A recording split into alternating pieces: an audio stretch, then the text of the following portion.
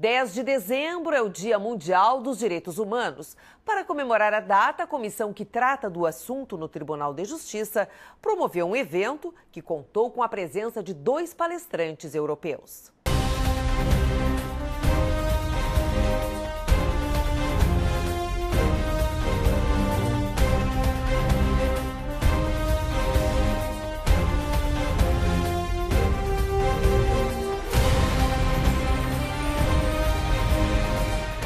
Os professores Javier Pérez Royo e José Maria Morales Arroyo foram os destaques do ciclo de palestras promovido pela Comissão de Direitos Humanos do TJRS, que é presidida pelo desembargador Luiz Felipe Silveira de Fini.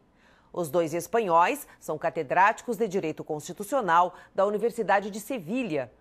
A terceira palestrante, procuradora de Justiça do Estado de São Paulo e professora da PUC, Flávia Piovesan, destacou o pioneirismo do TJRS, primeiro tribunal do país a instituir uma comissão para tratar do tema.